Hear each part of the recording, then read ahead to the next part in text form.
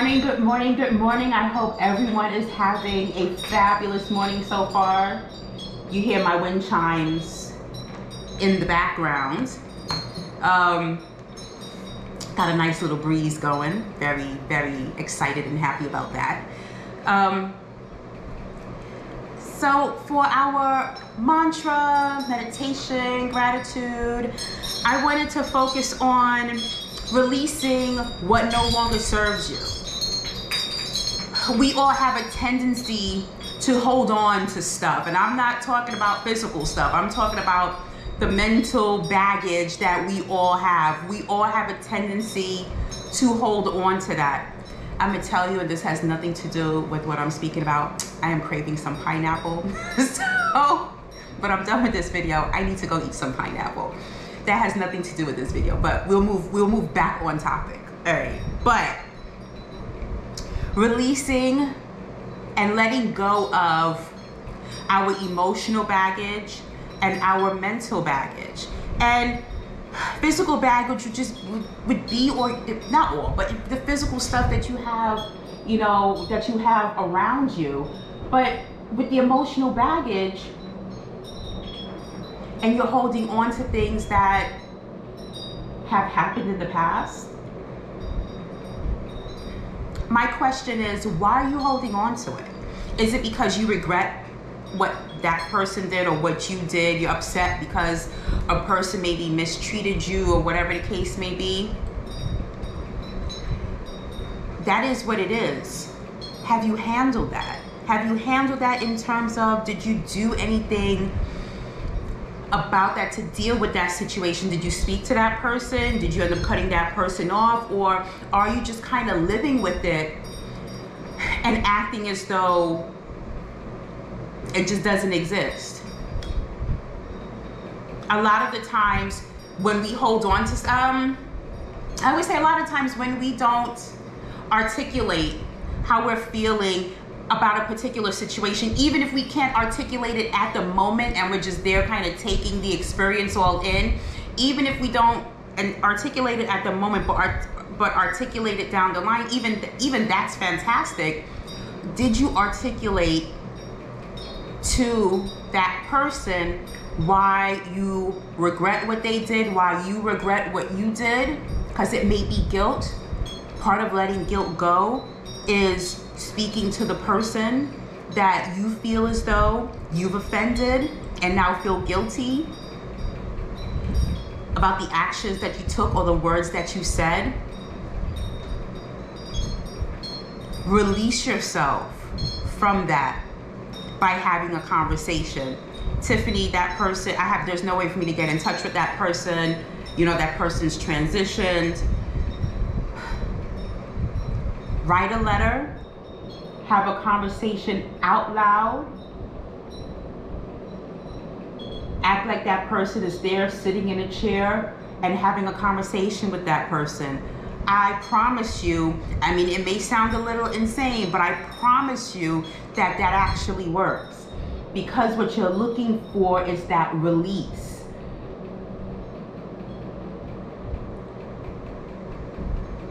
And it'll be interesting to find out that some of the time, I don't know if it's a lot of the time, but some of the time, you may bring that up to the person and they have no idea what you're talking about because they have mentally, they've moved on from it.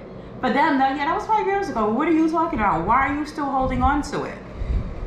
You need to figure out why you're holding on to a thing. How is it, how is holding on to that thing making your life better?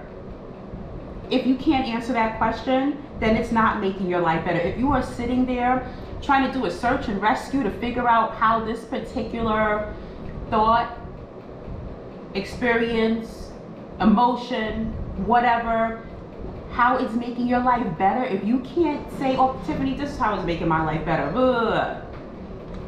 if you can't just spit that out, then you got to think about it.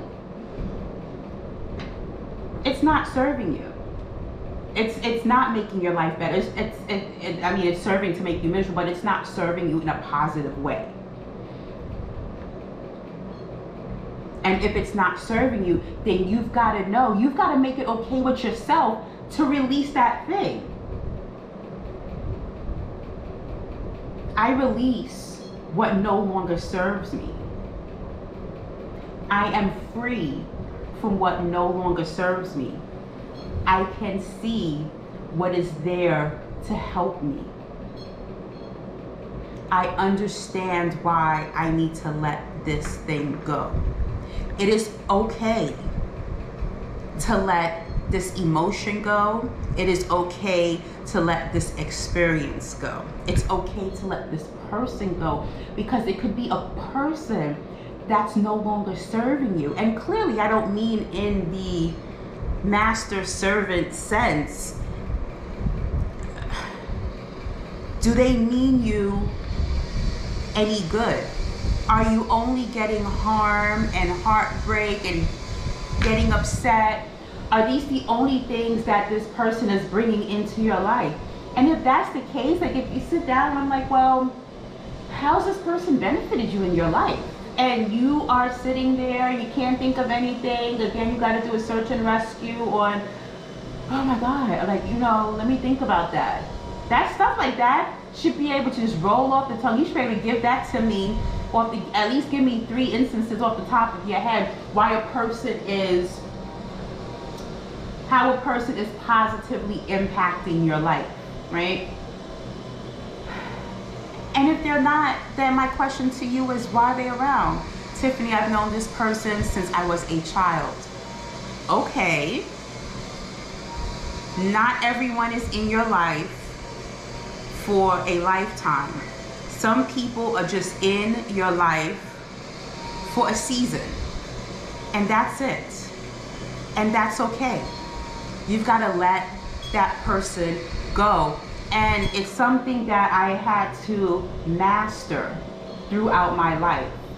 Um, when I started changing and focusing on my spirituality, people started falling off. The universe pretty much, they were like, all right, that's enough. And really, I, it, and, and it, it, it, was a traumatic experience. Um, and they just, and they, the universe pretty much just ripped those people from my life and that was the end of it. And it was it was in such a way where i can go back and we can sort through whatever. It was there was there was no coming back from the way a lot of these relationships ended.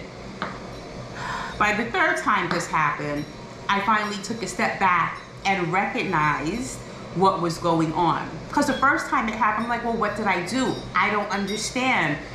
You know how can i do better? And put the blame on me, not understanding that the soul contract, your soul contract with this person is done. And a lot of a lot of the time we don't understand that our soul contract, assuming that we know what a soul contract is. We don't understand that our soul contract with this person, with this experience, place, or thing is done. It's come to its conclusion. It's it's gone as far as it needed to go. Whether or not you've learned what you needed to learn from it is it's wholly another conversation. But this soul contract has gone as far as it needed to go. Now what? That person, place, or thing is removed from your life. And if you are holding on to it, then it is traumatic. If you don't understand what's going on, it is traumatic. So, being able and not being attached, which is why they say, you know, don't be attached to stuff. Because when it's time for it to go, it's going to go. Period. No matter how badly you want that thing, it's going to go. So, understanding that even with a person, if they don't serve you, then you need to let them go. You need to be okay with it, not feel guilty about it, and you need to let them go in love and peace you need to let them go. No ill will because that will only compound what you're going through and you don't want to send that energy out there because uh, universe will kindly give you that energy back. So I release. Today I release what doesn't serve me. I thank you. Thank you that I recognize all that doesn't serve me. Thank you, universe, God, source, whatever, from thank you for helping me, for giving me the courage to release what doesn't serve me.